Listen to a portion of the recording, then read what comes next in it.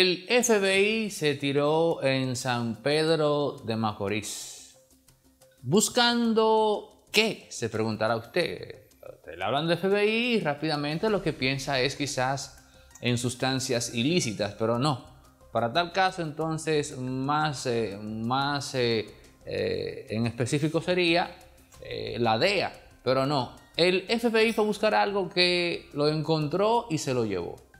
Y nos referimos a un cubano que durante más de 10 años estuvo um, esquivo a la justicia norteamericana, un señor de nombre Leomar eh, Valdés Martínez. Y les cuento que los vecinos del entorno en donde residía Leomar Valdés Martínez se sorprendieron no tanto de la presencia del FBI allí, sino que la sorpresa era doble al saber que se llevaban a este señor. Pero la sorpresa fue más cuando se enteraron de a razón de que lo estaban buscando. Bueno, eh, Leomar Valdés Martínez es acusado de disponer de la vida de otra persona en el interior de un vehículo, un proceso que llevó en Estados Unidos, específicamente en Miami, logró venir a República Dominicana y durante estos últimos 10 años se le conocía como el cubano de San Pedro.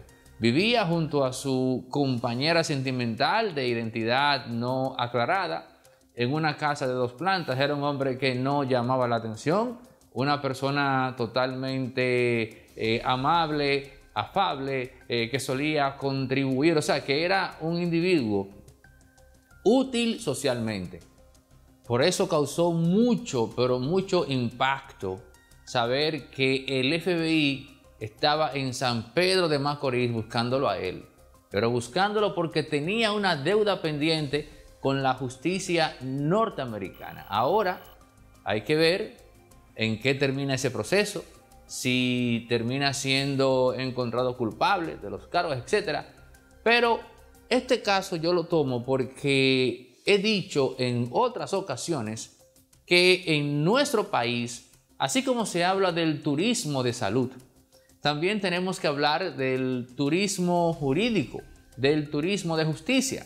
Y cuando digo turismo de justicia me refiero a los cientos de extranjeros que están en República Dominicana porque a sabiendas de que con unos cuantos dólares resuelven, lo que hacen es venir aquí a refugiarse a esconderse de las autoridades. Tomemos el, caso, por ejemplo, del holandés que era copropietario en República Dominicana de Jarro Café. Es literalmente, si se quiere, el mismo caso. Aquí se dice, y es un secreto a voces, que hay rusos, que hay ucranianos, etcétera, que son elementos que pertenecen a bandas y que vienen a residir en República Dominicana. Es verdad que cuando uno se enfoca en las bandas de la vecina nación, se puede hablar de que estamos siendo miopes, de que estamos eh, abusando, de que estamos desconsiderando, de que estamos viendo el problema eh, por la parte más fácil a tomar, es cierto, porque hay una realidad. República Dominicana es conocido en el resto del mundo por ser un país de justicia flexible, de justicia ligera, y lo que, y lo que impera hacia afuera es que aquí el dinero resuelve sí o sí. Es que aquí, como se dice por ahí, papeleta mató a menudo y morocota se alzó. Es un secreto a voces que se difunde y por eso somos un paraíso para todo aquel que tiene cuentas pendientes en la justicia de su país natal. Vienen a República Dominicana. Yo no quiero ahora, porque hay algo que me, que me causa un poquito como de disonancia. Usted dirá, bueno, pero él era él era bajo perfil porque tenía un lío. Bueno, pero eh, que él sea bajo perfil y que de repente sea una buena persona, que sea útil a los demás, pues caramba, algo tiene que haber ahí. De repente tal vez y la circunstancia en la que él despachó al otro mundo a, esa, a su víctima no es un asunto tan lineal, no lo estoy justificando con esto. Ahora quiero darle paso a que en efecto puede ser una persona buena, noble, que se vio en un hecho puntual que fue tan punzante que hizo que sencillamente él perdiera los estribos. Eso también pudiera ser.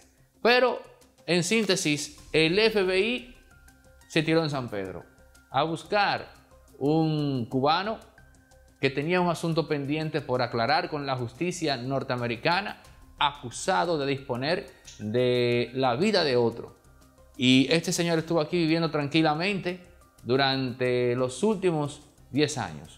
Lo lamentable es que hay casos quizás más impactantes en donde las personas en cuestión nunca serán encontradas.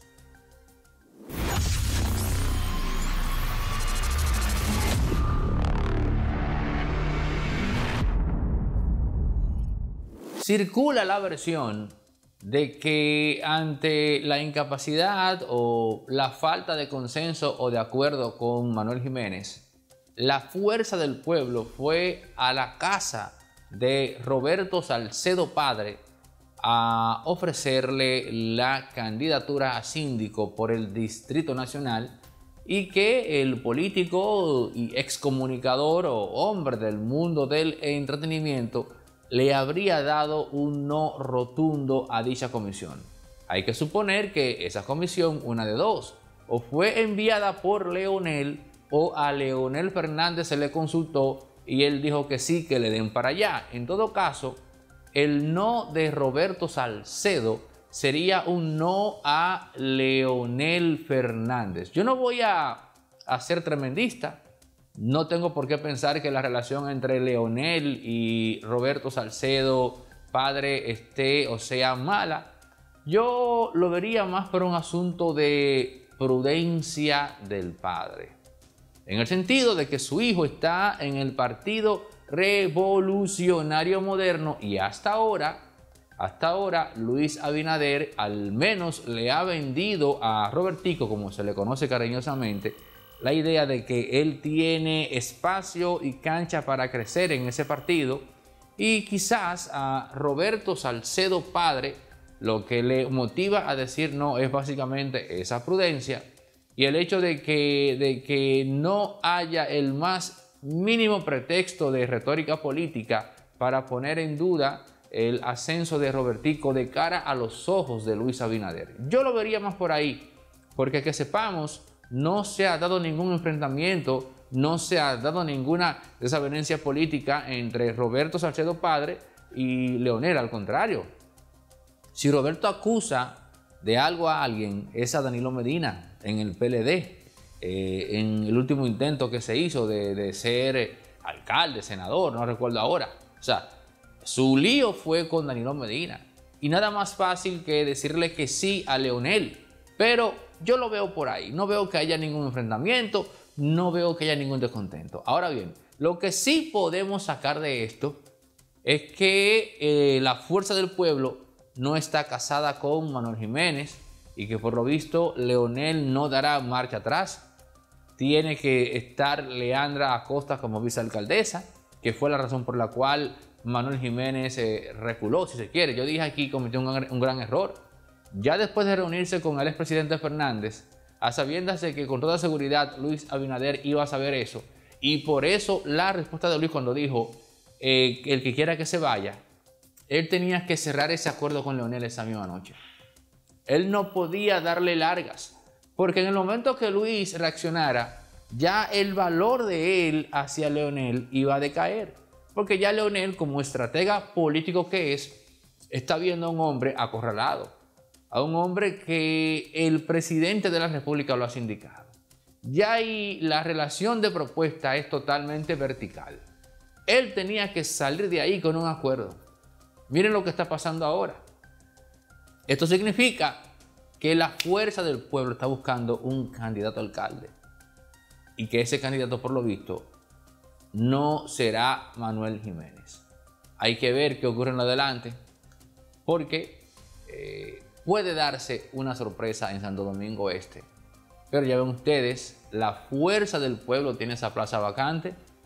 Supuestamente, dicen los rumores, se la ofrecieron a Roberto Salcedo Padre y don Roberto Salcedo Padre dijo que no. Pero yo digo, no veamos esto como un asunto personal de Leonel y don Roberto. Veámoslo más bien como una postura sensata pretendiendo no perjudicar a su hijo. Además de que también se ha dicho que en cualquier momento, no sé si esto sea cierto, pero vamos a ver, el tiempo nos dirá, en cualquier momento sale un decreto para Roberto Salcedo Padre. Señores, les recuerdo que tenemos la quinta pata. Suscríbanse a la quinta pata justo encima de mi dedo. José Maracayo, Fernando González, Edwin Cruz y Mario Herrera hablando de todo, pero no como todos, pero para que sepan de qué va la quinta pata, acá les dejamos un fragmento de uno de los tantos comentarios que hacen en su canal de YouTube. Bueno, ustedes saben que yo no, a mí no me gusta mucho la música urbana realmente. Dos o tres canciones acepto que sí me gustan mucho, eso es verdad. Eh, hay una de Bullying que me gusta mucho, etcétera. Diablo, Pero a propósito de eso, eh, hace dos semanas estaba aquí el rapero de sangre mexicana, boricua 69, grabando ¿Quién es? ¿eh? 69. Qué ignorancia somos. un rapero que utiliza su pelo, que se caracteriza por tener cabello de color. Él tiene otro nombre, ya. Ah, ese que tiene vaina de hierro, que estaba con No, de Yailin. hierro no, de diamantes. El Ese que no estaba con, con Yailin, que ahora mismo acaba de No, hacer. pero él le dicen otro nombre. Es otro ¿cómo se llama? nombre. 69, Tekashi. Tekashi 69. Tecachi, por Tecachi, pero pero que es todo eso. Ah, pero- Tekashi 69, sí es. De hecho, él no tiene tatuado Te vamos a dar Tekashi. clase a ti de- de- No de tiene tatuado. Tekashi, tiene todo, siempre 69. Pero es Tekashi. 69, Sí, pero Tekashi. ha- habla para 69. dummies. Pero Ah, bueno, ok. Entonces, eh, bueno, eso grabó Yailin con él un tema que está muy pegado ahora, pero la semana de arriba estaba aquí el famoso Peso Pluma, el cantante mexicano que canta corridos tumbao. Estaba grabando en La Romana un tema con el Alfa. El Alfa se colgó de este éxito que está teniendo este muchacho porque está en número uno en todas las plataformas digitales y en todos lados. Peso Pluma está en el Que número por cierto, uno. un freco. Sí, es un freco, ¿no? Un freco y... Y no habla mierda diga que comparándose con Luis Miguel. Sí, sí, no, pero Por ah, un tema que tumbó en, sí. en Spotify. Sí, o sea, Miguel. él dice que está por encima de Luis Miguel porque lo tumbó. Porque lo tumbó en Spotify. Sí, pero- Pero él tiene la ventaja de que él tiene su apogeo ahora en Spotify. Y Luis Miguel ha roto todos los récords. No, entrando ahora en Spotify. Le daría- tenía o sea, que, súmale tiene a Luis darle- Miguel no, su trayectoria en forma. Tiene que darle No hay forma, vergüenza él midiéndose con Luis no, Miguel está- en un tiempo donde... Está Exacto. loco, está loco, está loco, Eh. pero está bien, parte, es parte del show, es parte de- del show, sí. es parte del show. está- sí. Parte Pero bueno, viene el caso porque eh, sabemos que Peso Pluma está en este género, eh, subgénero, porque el verdadero género es el corrido, y este se deriva, el Sí. corrido tumbado se deriva del, del- del- del corrido, y grabó un tema con el Alfa, que insisto, a mí no me gusta tanto, pero cuando escuché el tema, está muy pegajoso, está muy bueno y se va a pegar mucho en México. Oye lo que te voy a decir, se va a pegar mucho en México porque mucho del lenguaje que se utiliza en la canción son de términos muy mexicanos. Y el alfa, se, el, algo. alfa se monta en eso. Va a O sea, recoger ella, él empieza a decir términos como morra, este güey, o sea, eh, empieza a utilizar ese lenguaje que al mexicano pues, Disculpa, le Fernando, gusta. ¿es- ¿esto tiene algo que ver con el chombo? Entonces, sí, claro, tiene, Ah, algo, tiene algo que ver porque eh, él sacó un video acerca de, eh, dando la explicación de, de lo que eran los corridos y de por qué el corrido tumbao. El Entonces, chombo. El chombo. ¿Puedes sí. explicar un poquito quién El, es el chombo? el chombo es un personaje dominicano que vive en los Estados Unidos, que tiene una voz muy característica, porque es una voz muy grave, es una, es una voz donde realmente hay una... eh, eh, ¿Cómo se dice esto? Eh, hay, hay una... Hay, hay- eh, es panameño, un- es panameño. sí, no, pa- no, panameño, do- no, es do- dominicano. No, ¿no? dominicano no. Yo No. juraba, yo juraba que era dominicano. No, panameño. Yo juraba que era dominicano.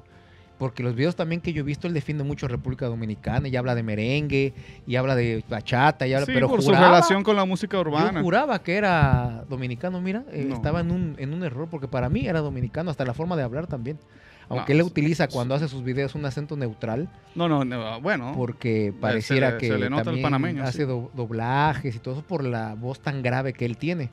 Pero él hace videos de muchísimas cosas, te digo, analiza bachata, merengue, ha hecho videos de boleros, eh, ahora está analizando o haciendo un recuento, digamos, de dónde viene el corrido, etcétera, etcétera.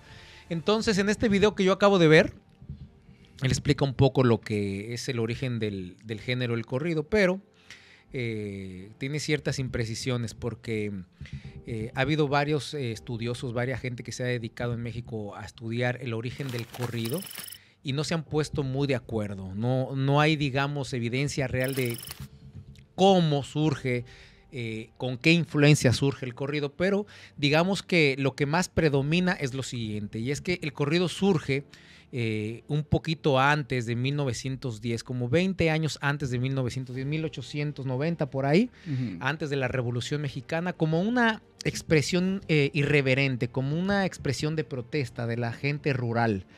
Recuerden que México en esos años estaba gobernado por el dictador Porfirio, Porfirio Díaz, que fue eh, gobernante por cerca de 32 años. Amado, y, dicta- amado y odiado. eh, sí, amado y odiado, obviamente.